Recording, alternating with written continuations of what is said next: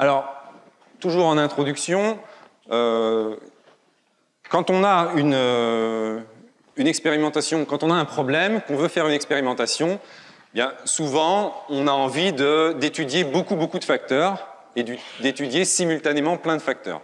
Comme ça, on peut s'intéresser à un phénomène global, plus général, ce qui est intéressant. Donc, on veut étudier beaucoup de facteurs, on veut, euh, pour chacun des facteurs, éventuellement tester beaucoup de modalités.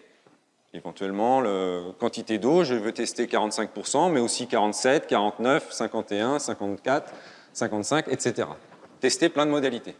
Donc ça, ça, permet de, connaître plus de choses. Le problème, c'est que bien, à chaque fois que j'augmente le nombre de facteurs, ça va m'augmenter le nombre potentiel d'expériences, le nombre d'expériences à réaliser. Et même chose, si je prends des facteurs avec beaucoup de modalités, eh bien, je vais augmenter le nombre d'expériences.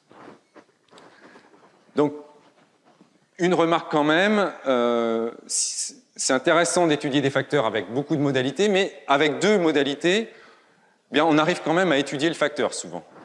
Et donc, euh, s'intéresser à des facteurs à deux niveaux, c'est des plans qui sont un peu plus simples, mais qui sont très utiles, au moins dans une première approche, qui est de savoir est-ce que ce facteur a un effet ou pas.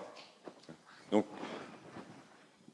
avec plus de modalités, on va être plus précis, mais euh, c'est beaucoup plus coûteux en expérience. Donc là, c'est encore ce compromis entre être précis et euh, avoir assez peu d'expérience.